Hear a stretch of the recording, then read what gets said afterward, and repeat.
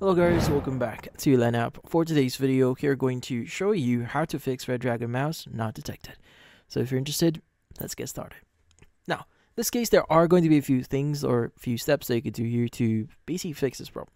So first is we want to go ahead and verify a few things. So in this case, you want to maybe connect your mouse to a different computer or a different device. So for example, if you're using it in your PC, use a uh, laptop and see if your mouse works in your laptop just to rule out that your mouse is the problem and not your PC. Now, if you are having some issues with your uh, actual PC and your mouse works in uh, your laptop, well, there are going to be a few things that you could try later on. I'll be showing you later on. So, yeah. So, in this case, uh, if your mouse is not working uh, properly on one port, you may want to uh, basically use a different port. Like for example, on a PC, usually they have multiple ports that you could use for USB connections. So in this case, maybe if you have this connected in here, maybe switch it in the next port or the other port here and see if that actually helps you with the connection.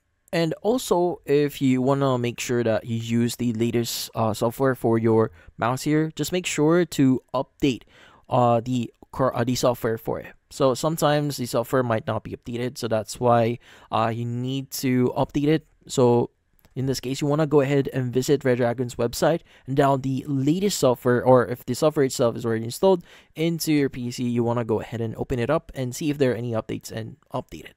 Now, if that doesn't work, you could actually uninstall and reinstall the drivers itself.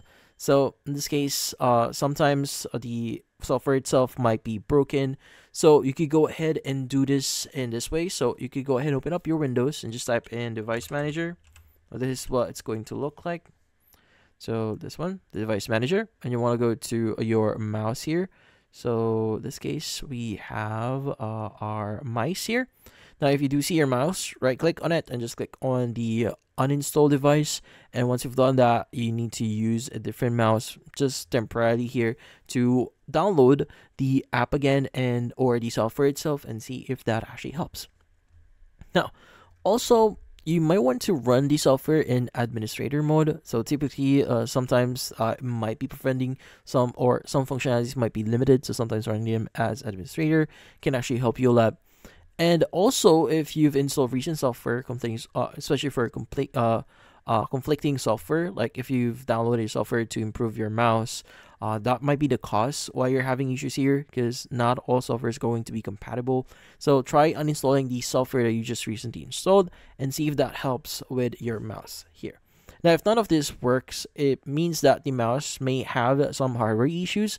So it is recommended that you contact their support to get further assistance here or even get a refund or a replacement, especially if your mouse is preying you. But in this case, that's about it. Hopefully this video was able to help you like and subscribe to LenApp. Thank you for watching.